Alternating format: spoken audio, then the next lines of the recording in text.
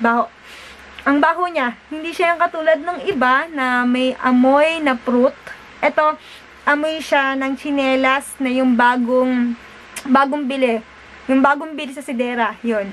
Ganun yung amoy niya talaga. Ang, pa, ang baho. So, yun yung pinakaayaw ko. Tapos,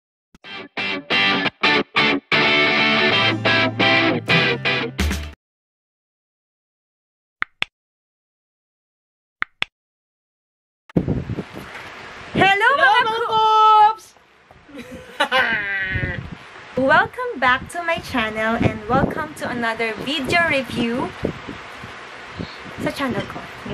Yun. Gusto ko ngayon mag-review nung ginagamit ko recently. So, ito yung yan. Yan, kita nyo? O, oh, inchik yan. So, White Korea Double White Whitening Soap. Ayan, ang labo.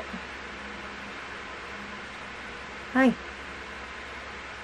Whatever. So, yun to.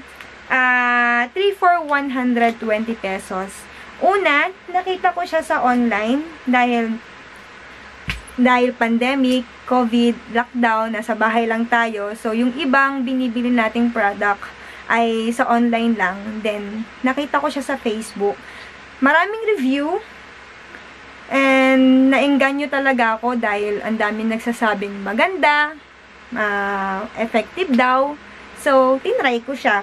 Ah, binili ko siya sa Lazada for only 120 something plus shipping fee. So, yun lang yung nakamahal sa kanya. Pero, dahil hindi naman tayo pwedeng lumabas, okay na rin sa akin yun.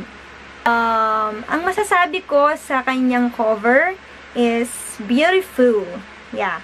Uh, pink, Korean, yung design, animated, and slim siya. So, ganito lang siya kanipis.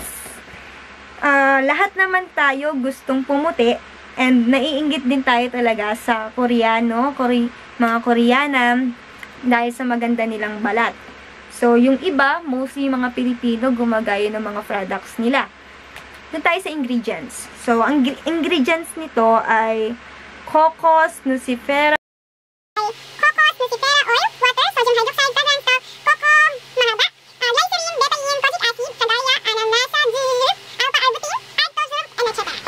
Tapos, dito sa cover niya, makikita natin yung dalawang um, ingredients. So, yung kojic berry and white strawberry. Yan, ito. Medyo blurred, pero makikita nyo yun pag bumili kayo. Teka lang, pinagpapurisan ako. And, back to the ingredients.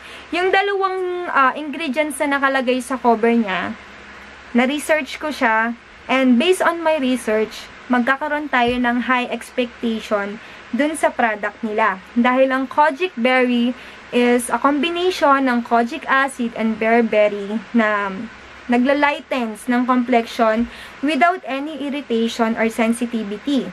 It's as if it has an SPF-like effect to protect the complexion and works as a natural exfoliant for exfoliant for a double whitening effect. So, doon pa lang, pwede na siyang masabi natin na pwede siya sa lahat ng skin type, lalo na yung mga sensitive, so pwede nyo siyang itry. Then, um, yung SPF, hindi lang sinabi dito kung gaano kataas yung SPF. Uh, maganda siya. And yung without any irritation. So, lahat naman tayo guys, mga hoops. Ka lang. Ah, lahat naman tayo gustong makapag-try. Ano ba yan?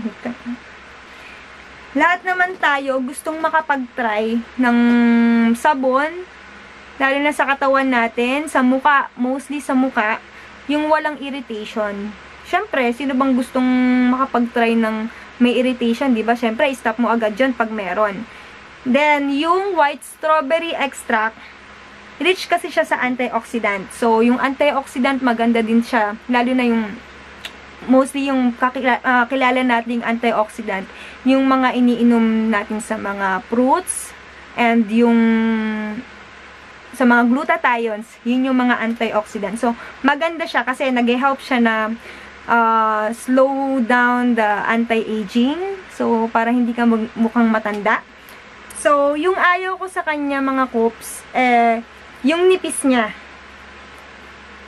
Makita nyo, manipis siya compared dun sa last na nabili ko, uh, like Koji-san. Yung Koji-san na 34120, makapal siya compare dito. Siguro yung kapal niya ay ganito. So, medyo malaki yung difference. And ayaw ko sa kanya, sobrang baho. Ang baho niya, hindi siya yung katulad ng iba na may amoy na fruit. Ito, amoy siya ng chinelas na yung bagong bagong bili. Yung bagong bili sa sidera, yun. Ganun yung amoy niya talaga. Ang, pa, ang baho. So, yun yung pinakaayaw ko. Tapos, dun sa whitening naman, sa pag-uusapan natin yung whitening, na-try ko na kasi siya ng for almost 3 weeks. Uh, and so far, hindi ko naman nakikita yung effect na whitening sa akin. So, maybe hiyangan lang.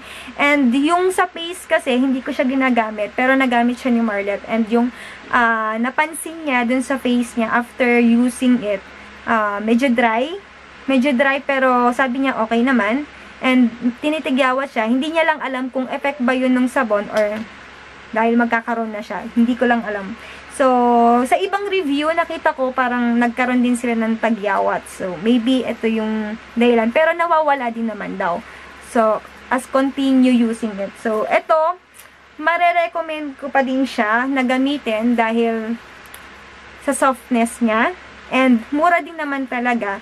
Siguro, pag continue siyang i-use, dahil 3 weeks ko pa lang naman siyang na-use, makikita natin yung whitening effect. Matagal lang siguro. Hindi, siya, hindi naman siya, well, hindi naman ako nag expect ng yung whitening na agad-agad dahil syempre soap lang naman to. Kailangan din talaga ng patience para makita mo yung pinaka gusto mong result.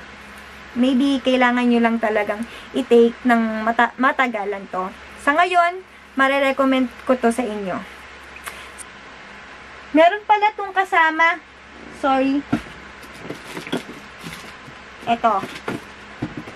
Hindi ko sure. Ayan, nagamit ko na siya. Yung cream nila. Yung Instant White Tone Up Whitening Milk Cream.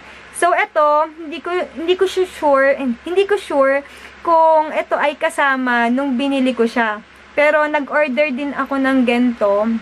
Nagamit ko na eh. Maganda yung effect niya. So, sa next video ko, uh, i-review ko rin siya ng magkahiwalay. Pero, pag ginamit mo yung sabon nila, mas maganda kasama rin ito sa face to. Okay?